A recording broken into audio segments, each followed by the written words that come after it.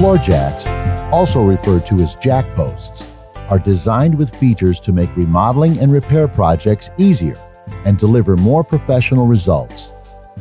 They're intended for use as temporary or secondary supports, never as primary or permanent supports.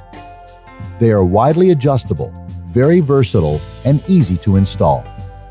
Here's how. Floor jacks can be used permanently as secondary support along with the approved primary support.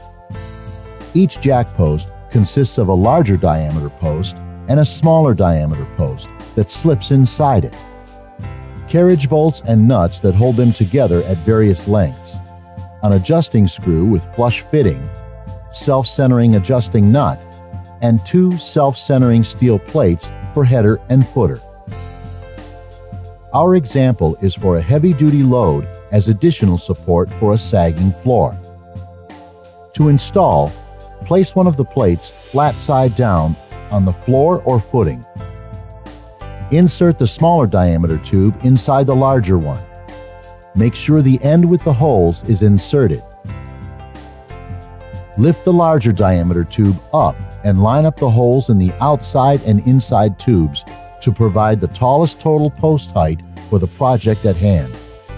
Insert the two carriage bolts through the posts so the heads are 90 degrees from each other and secure them with the acorn nuts. Turn the round nut to the end of the adjusting screw. Insert the adjustment screw and nut into the small diameter tube so the flange on the nut is flush with the tube. Next, place the adjusting screw tip into the center hole of the bottom floor plate. Now place the second plate on top of the large tube with the flat side against the support beam.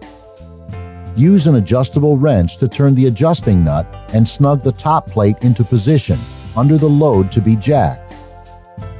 Make sure the post is firmly centered under the load-bearing beam and vertically plumb.